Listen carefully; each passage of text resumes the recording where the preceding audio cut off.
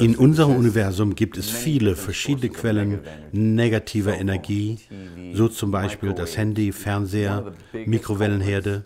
Und einer der größten Übeltäter in unserem Universum ist das Wi-Fi oder wie wir sagen WLAN. Wir werden gleich die negative Energie demonstrieren, die ein WLAN-System auf den Körper von jedem ausübt. Also in dem Schrank hier haben wir eine WLAN-Station sitzen. Bella steht mit dem Rücken zum Türbereich und ich werde den Muskeltest an ihrem Arm vornehmen und lass uns mal sehen, welche Energie von dieser WLAN-Station ausgeht. Es schwächt sie total. Jetzt nehmen wir eines der Protect Pro Geräte und stecken es hier in die Wand, wo sich diese WLAN-Station befindet.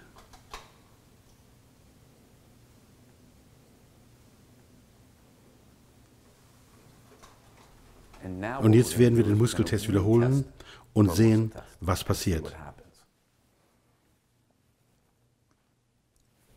Sie stark wie ein Stein. Indem wir dieses Gerät einfach in die Nähe dieser Einheit gesteckt haben, haben wir diese negative Energie harmonisiert und in eine positive Energie umgewandelt. Also dieses Messgerät geht über die Kinologie hinaus. Es gibt Leute, die Probleme damit haben, Kinologie als eine Wissenschaft zu akzeptieren. Ich verstehe das zu einem gewissen Grad, obwohl es für mich völlig wissenschaftlich ist. Für die Skeptiker habe ich jedoch dieses neue Messgerät. Dies misst das stark schädigende Chaos innerhalb des Torsionsfeldes, das von dieser WLAN-Station erzeugt wird. Wenn ich nun den Reset-Knopf drücke und die Nadel würde auf einem perfekten Null stehen bleiben, gäbe es keine Verzerrung, kein Chaos im Torsionsfeld.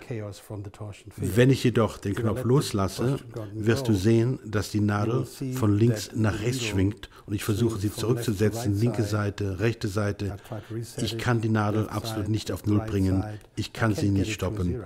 Sie bewegt sich permanent hin und her. Das heißt, wir zeigen hier auf wissenschaftliche Weise die Verzerrung, das Chaos des Torsionsfeldes, wie eine WLAN-Station den menschlichen Körper schwächt und was sie ihm antut. Es wird nur durch das Messgerät angezeigt. Das ist natürlich toll. Für alle Skeptiker da draußen, ich drücke es auf Null, ich lasse los, es bleibt nicht auf Null, es bewegt sich immer wieder nach links und rechts, wohin auch immer. Aber die Nadel bleibt nicht auf Null stehen. Das ist der Beweis.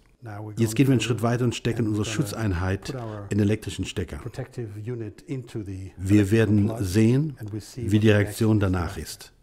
Nachdem wir den WLAN-Schutz von Protect Pro angeschlossen haben, lass uns mal sehen, was das Messgerät anzeigt. Wenn es auf einer perfekten Null stehen bleibt, bedeutet das keine Verzerrung, kein Chaos aus dem Torsionsfeld dieses WLAN-Einheit. Und ich drücke den Reset-Knopf und lasse den Reset-Knopf uh, los. Und siehe da, die Nadel bleibt auf einer perfekten Null.